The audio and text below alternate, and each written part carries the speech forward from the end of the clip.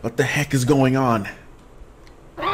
Yo, what is going on my people? So we're back with more Hungry Lamu. Now this game actually recently got an update, so we're about to go ahead and dive on in. If you guys remember from the Hungry Lamu from before, this thing's a menace and it's freaking creepy. But if you guys do like this video, go ahead, leave a like on it and subscribe. We greatly appreciate all the support, guys. We're on our road to 20k. Let's dive on in.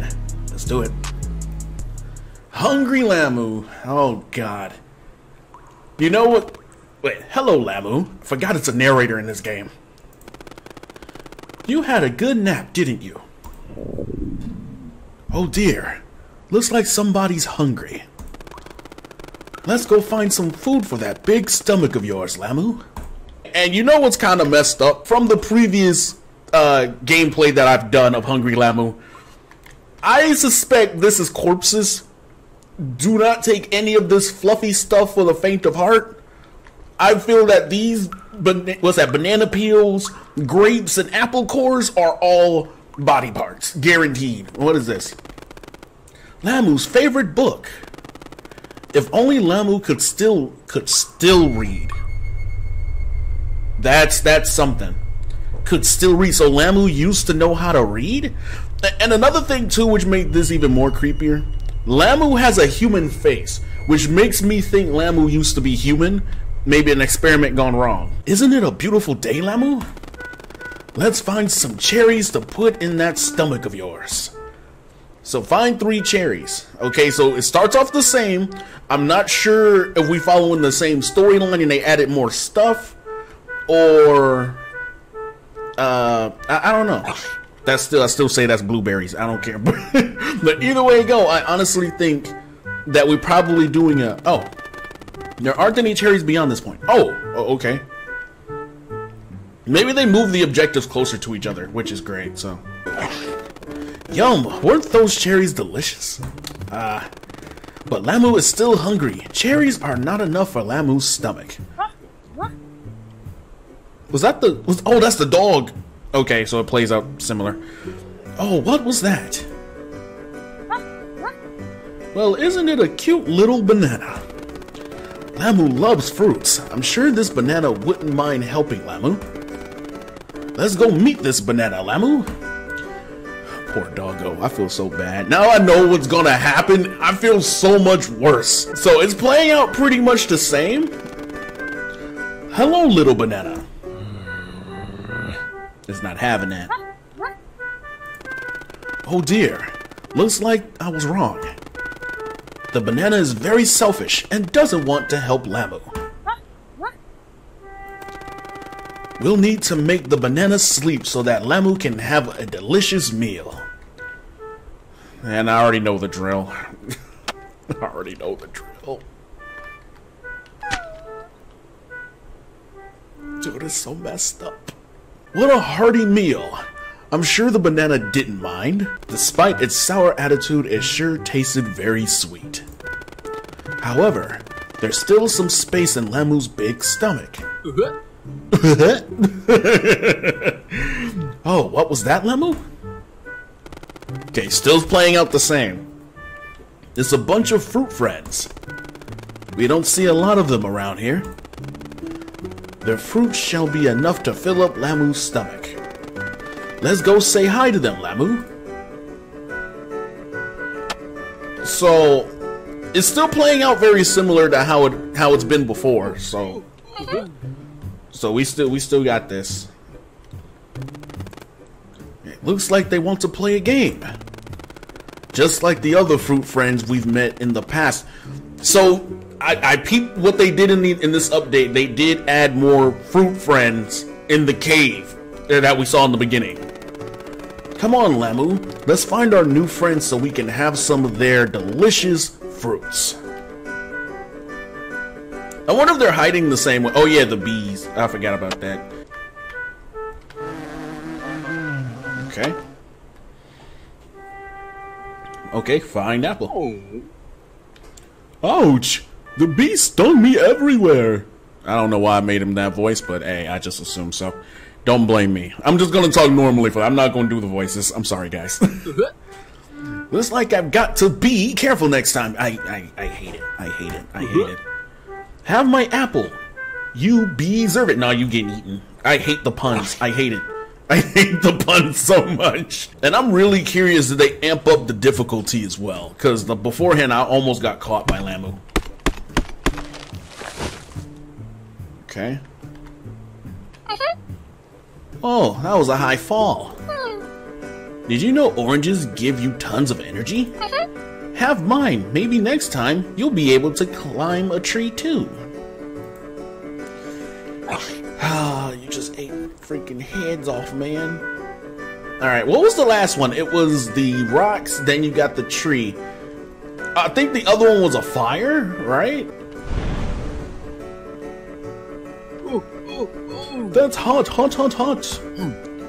Oh geez, you couldn't try something less burning? Hmm. Well, I hope you like burned pear because it's all yours.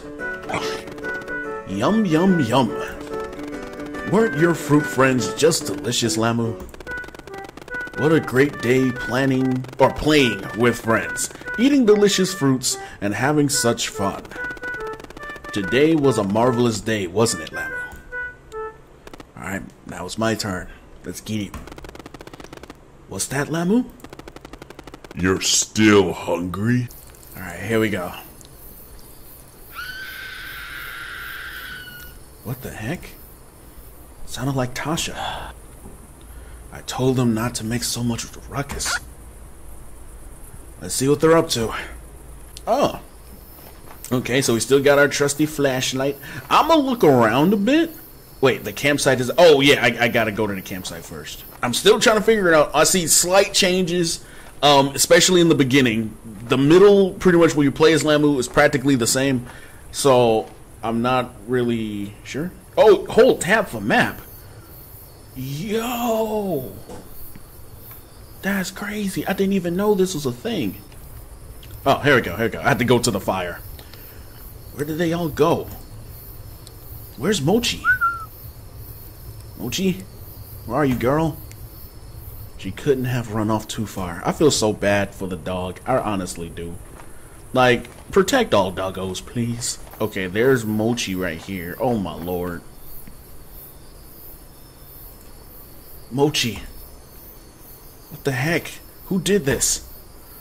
Poor girl. Man, I feel so bad for the dog. Whichever you did this, this is messed up. Tasha, Ken, Leon, where the heck are you guys? Yeah, they got bodied. So when I looked on the map, right, um, going from the campsite straight ahead, do I have to find? I heard footsteps already. Dude, is Lamu on the prowl? Lamu's on the prowl already. Yo, Lamu, my boy. Yo, Lamu's hungry. Now, beforehand, Lamu almost got me. And, like, just. Yo, Lamu, chill, bruh. Lamu, like, I'm about to get me some camper legs, man. Me, wait, wait. What is this? Is this Lamu's cave? Is this the cursed cave they keep talking about?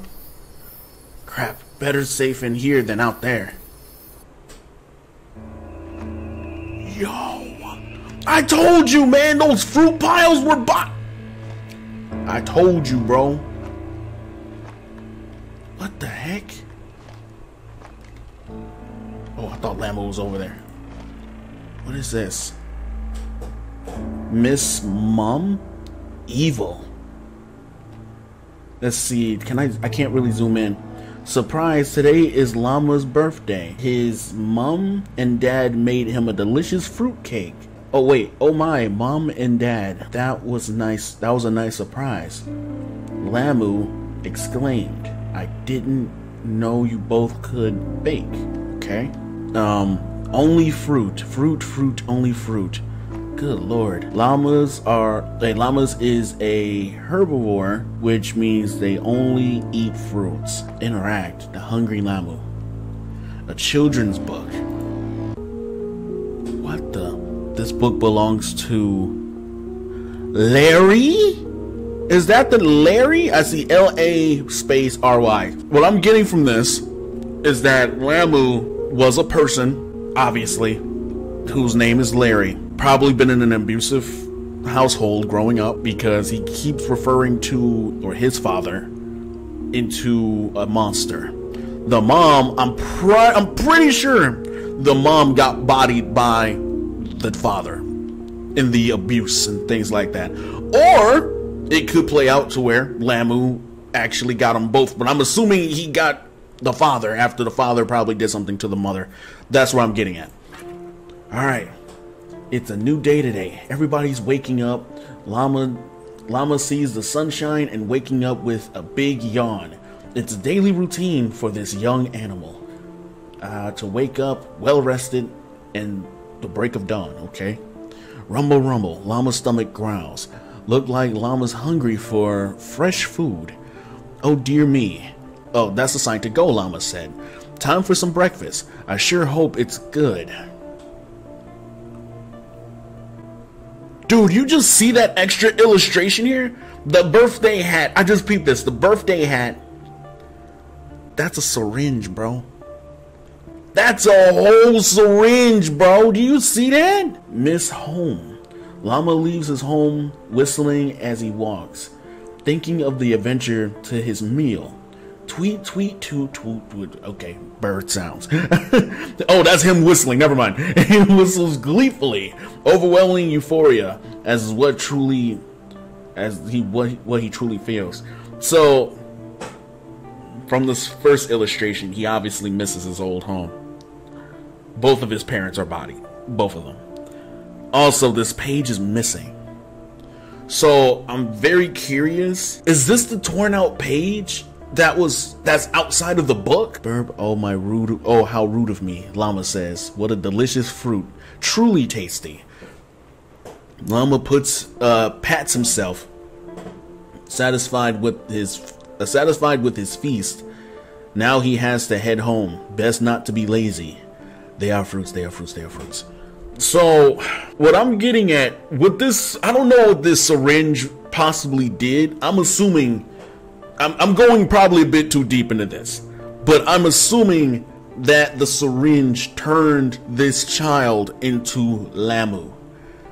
Lamu, the only thing that Lamu has left is these children's books and probably convince himself that, yo, I'm, I'm Lamu. Like, but the thing is, he's trying to, like, Lamu's trying to convince himself that all the people that he bodied are fruits. He keeps saying it over and over again, repeating. It's like when, what's the, what's the term? Like if you keep continuously telling yourself a lie, you start to believe it. It's kind of like that. And he keeps saying, they are fruits, they are fruits, they are fruits, continuously convincing himself that people that he is folding over and over again are fruits. Wow. Oh God, it continues. No more home. Run away. Llama walks back home, belly very full. He reaches his home just when the moon rose. He entered the door with a smile on his face, but when he saw next made him struck a pose. A pose, interesting term. No more home. Run away. He ran away. The parents. I take it these are police. They have the hats and stuff. I'm assuming they're police. They discovered the two two um the two graves, and he ran. He runs away. Let me let me see. Dr. Bronze, well known for his studies Inter- interspecies genetics. I knew it. I knew. So he's a mutation. I freaking knew it, guys. I've been saying this since the very first episode of this. I said, "Yo, I legit think Lamu's a human." I've been saying that for the longest time, man. I was right. So he literally he has been found out for doing interspecies uh yeah, interspecies genetic fusion which has recently been exposed for fraud. His most recent studies of findings were proven to be uh, falsified. On the 15th of April, Dr. Bronze revealed his findings of human animal genetic fusion, allowing scientists to retrieve specific DNA from animals and placing it into human bodies, allowing humans to have traits exclusive to the animal. So this dude took llama DNA and infused it to his son. That's why, and Dr. Bronze is the father of that said child. Guys, we got it, man. We got it, bro. We got it. That's crazy. All your fault. I did not want anymore. So literally, Lamu, Lamu's is far gone at this point. Because remember, in the beginning of the beginning of the game, the narrator, which I'm pretty sure is all in Lamu's head as well. Um, the narrator said you used to know how to read. This is the only thing Lamu has left, and he can't even read this anymore. Which I feel bad for Lamu, but at this point, he's too far gone. He already bodied like over a dozen people who went in this force, including the main character's friends. That's crazy. see, I do not want anymore. After a long day, a still fun, um, in a fun time, Llama had uh, Llama head to bed. He tucked himself into his warm blanket. He thought to himself, "What a fun day!" Reminiscing about tomorrow's uh, banquet. Let's see. The end. Still hungry. And on top of that, Lamu. I say, in my opinion, Lamu, along with this genetic mutation of being fused with a llama, also has this curse of continuously being hungry, which is why he hunts people. I and then the thing is, hunting people, he still thinks that they're fruit. That's crazy. That is so freaking insane. What the heck is going on? Oh God! Well, I became the fruit. I became the fruit. Oh my God! Yo, he ate me. Oh my God! Around 2100 hours, loud noises were heard within the Bronze residence. Concerned neighbors immediately dialed for emergency services, the cops in the picture, to inspect the concerning incident that what authorities found in the lovely home was uh, absolutely horrifying.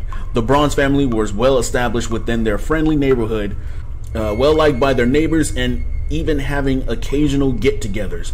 Eric Bronze, 52, Tina Bronze, 51, and I believe that's Larry. I want to say Larry Bronze. We're a, ha- we're a happy family of three. Besides Dr. Eric Bronze exposure of fraudulent scientific findings and six months ago, the family lived with no uh, with no grudges against any other people and minded their own business. Dude, so since he got found out as fraudulent, this dude's continued his research. Dude, I'm starting to build up, man. I'm sorry, but literally, he started to continue his research after being found out as a fraud for his his his genetic fusion research. So after that, he probably couldn't handle it, and he was like, "You know what? I'm still about to do this." But guess who's my guinea pig gonna be? His own son. I already knew it, man. Let's go. It has come to the shock that Saturday night, Dr. Eric and Tina Bronze were found brutally in their own homes, Larry's body missing from the terrifying crime scene. I'm assuming it's Larry because I've seen the name faded, but it, it, may not be Larry. I'm just saying. Uh, Dr. Uh, Dr. Eric and Tina Bronze heads were detached from their bodies, laid across the floor, uh, nowhere near the necks, and uh, the living the living room were, was a mess with furniture thrown about and flipped over. The graphic scene immediately triggered the authorities' conduct through the investigation of the gruesome incident.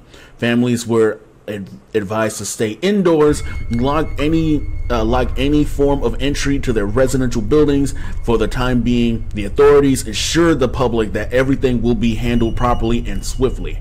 The search party has been concluded by the authorities to look for the young Larry, or the young child, I will say. It'll make sense yeah, see, or the young Larry, dead or alive, is still unknown for what could have been committed by the horrendous act. Let's see, although we are all afraid, it is strongly advised to follow the authorities' orders in order to maintain not only our safety, but our loved ones as well. We can only hope that the culprit will be uh, apprehended soon. It's Larry. Uh, our deepest condolences to the extended family of Dr. Uh, Eric and Tina Bronze this was truly an unfortunate and undeserved incident. If you find Larry or any resemblance of the young child, please report it to the authorities immediately. Dude, this just just opened a huge rabbit hole into this game. I want to see more updates to Hungry Lamu. I honestly do. But good Lord have mercy, things just got way more intense than what I thought. Now, my theory, I didn't know I thought it was like more so just a um, a dude in a costume initially for my first playthrough because I'm like, he looks his face looks too human comparison to the other depictions of llamas based off the game and stuff like that right? It, it was too uncanny the way how they describe lamu. And now he is a product of genetic mutation from his own father at that. So i'm pretty sure when lamu finally fully became lamu and lost it bodied both of his parents in the process and and ran away as in the storybook when the authorities were there. So by the time, so he was really close in the area too, but he ran away into the Lamu um, campgrounds or forest or whatever. And yeah, every person that came into the campground slowly got bodied one by one. Freaking crazy, freaking epic at that. Holy crap, this is awesome. I enjoyed this this old stories ending for this game. It's pretty fire. Guys, that was Hungry Lamu. Hope you guys did enjoy today's video. It's going to be kind of long. I'm going to try to chop up as much parts as possible because, right, I've been recording for about 30 minutes, so I'm to try to chop it down as much as possible to make it enjoyable for you guys. But if you enjoyed today's video, go ahead, leave a like on it, and subscribe. I do appreciate all the support you guys been giving me. And also, this is being recorded directly after yesterday's stream. I just want to thank all of my Legendary Army, just all of you guys. I appreciate you guys for, you know, just being out there helping me out. Thank you so much for the support. And we're on our road to 20K. So if you're new, hit that sub button. And I'll see you all in the next one. Peace.